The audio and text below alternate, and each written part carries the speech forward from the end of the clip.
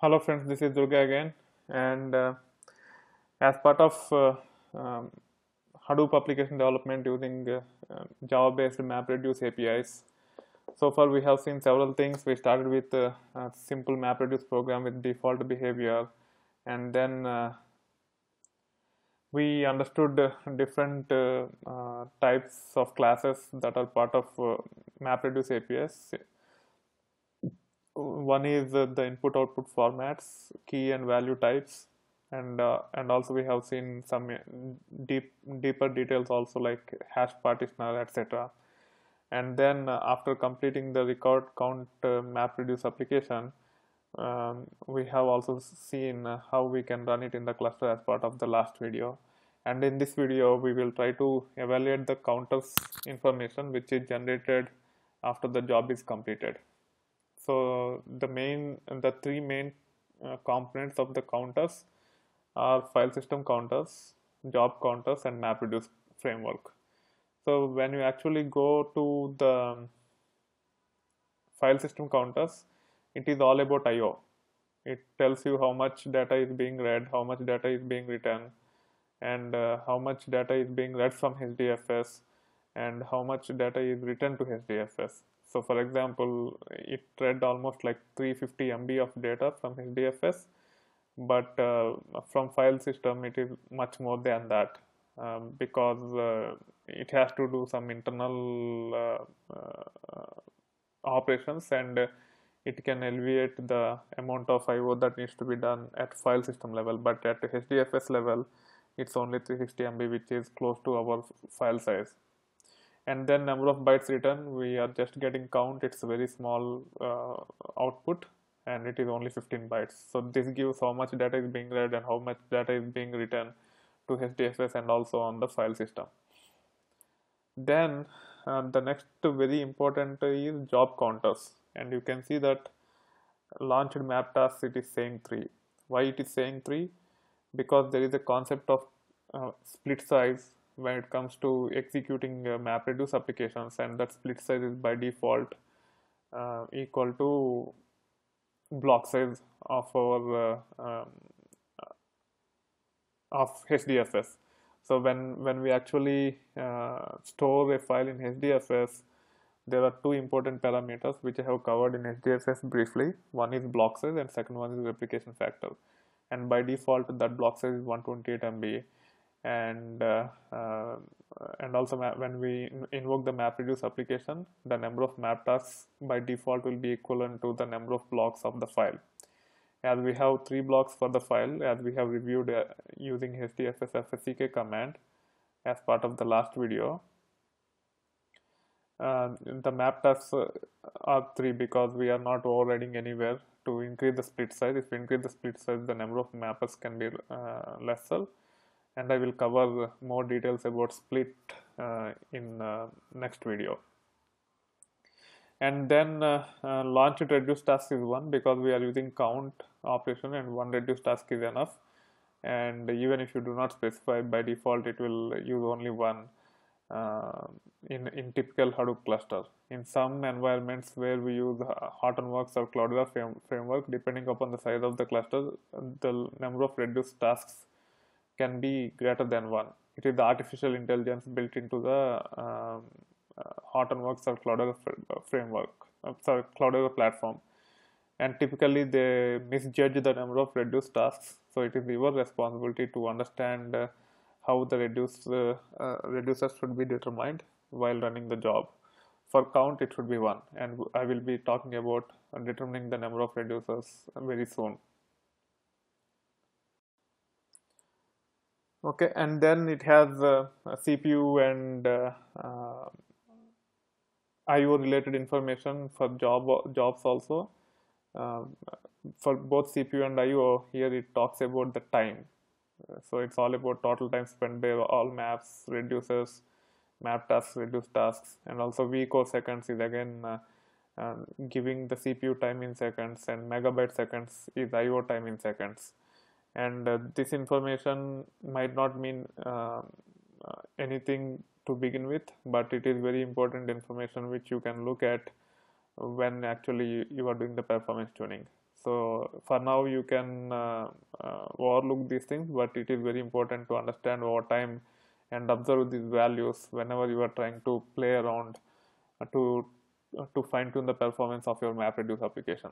But this information you should understand uh, uh, as quickly as possible and I will cover those things very soon.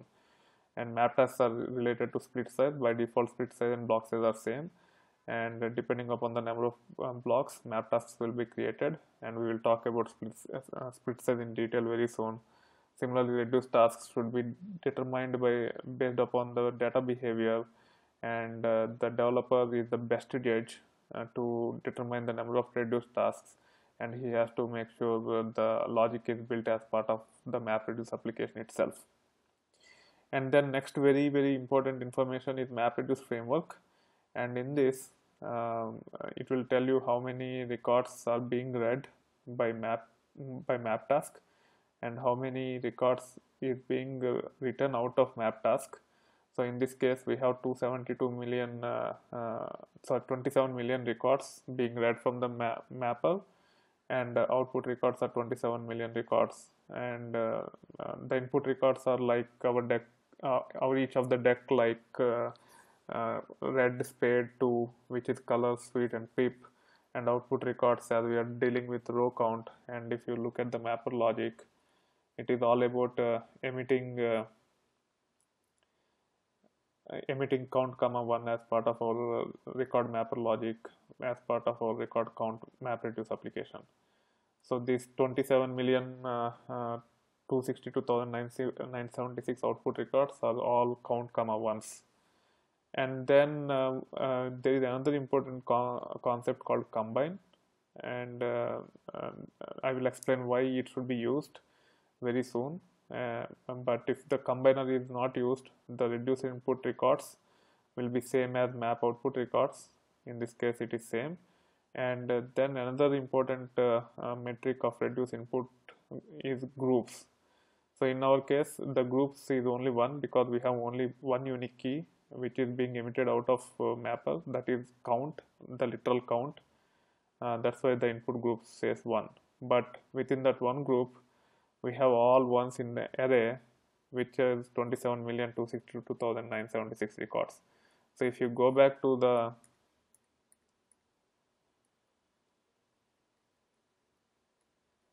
if you go back to this picture uh, for count program you will see only one bucket um, because the number of reducers uh, even if you give more than one and the mod value will only always be one value.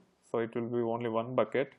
And by the time the uh, out uh, that uh, the map output reaches to the reducer it will be all count comma array of ones. And the number of ones are 27 million to 62,976 so that's what reduce input records means. And the reduce output records is just a count of all the records which is the value 27,262,976 which we have reviewed. So by looking at this information itself we can uh, uh, determine whether our program is running as expected or not. Not only from functionality purpose but also from performance purpose. And we will understand those details as we talk more and more details about these things. So let's think about the card count by suite. In this case uh, the map input records will be 27 million. Map output records will be 27 million because for each record you have to give the key as well as the uh, value uh, like this.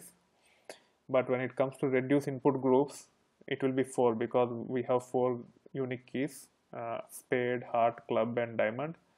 And reduce input records will be 27 million to 62,976 records it is cumulative of all uh, um, uh, all number of values in all arrays. So we have four uh, four key and array of values. And if you add all those uh, number of values in all four arrays for each key it will be you know, 27 million 262,976 records. And then uh, when it comes to reduce output record we are trying to get the count by suite so there will be four records which will be emitted and which will be stored as part of the HDFS and uh, and then we have seen uh, uh, in uh, Eclipse itself that it creates two files and one file got spade comma number of records and then other file got club diamond heart because the keys will be sorted when it reaches the uh, respected reducer. If there are multiple uh, keys within the partition the, uh, those those reducer input groups will be sorted as part of the shuffle and sort process. And then uh, th these are the main uh, uh, main counters which you need to look look for. Map input map output. You have to look into combine input combine output also. In this case it is not relevant for now but we will see very soon what combiner is and how it can be relevant even for this record count program and then uh, reduce input records and reduce output records which are very very very important. And then one more very important metric is CPU time spent. Uh, CPU time spent is uh, not the execution time.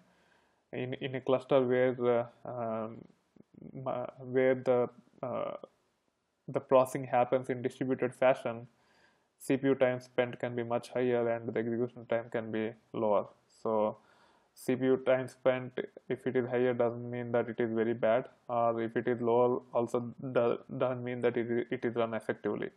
So you need to understand uh, how uh, the CPU time spent and the execution time uh, will uh, are actually using the resources in the cluster.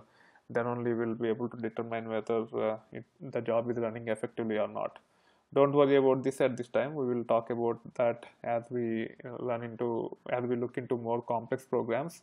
And eventually I will run these programs in uh, a bigger cluster and try to explain uh, uh, all those details uh, that we need to keep in mind at that time. And again uh, here it will say how much data is being read from HDFS and how much data is being written to HDFS that being said um, uh, this is how you should uh, uh, look into the output that is being generated. Um, the counters that is being generated as part of the output when we run the MapReduce application. And uh, it is very important to understand this. That being said uh, we will wrap up for now. As part of the next video we will look into the split size um, and how it will control the number of map tasks that is being created and also how can we determine the reduced tasks and also what is the relevance of combiner uh, very soon. That being said, I hope you are enjoying the content so far on my channel. I will be covering not only Hadoop but uh, uh, big data but many other technologies over time. So if you like the content of my channel, please like the uh, uh, please click on the like button of that particular video and if you want to post a comment or provide feedback or ask any technical question about a particular video please leave the comment section of that video. And if you have not subscribed to my channel yet please do so. Thank you. Bye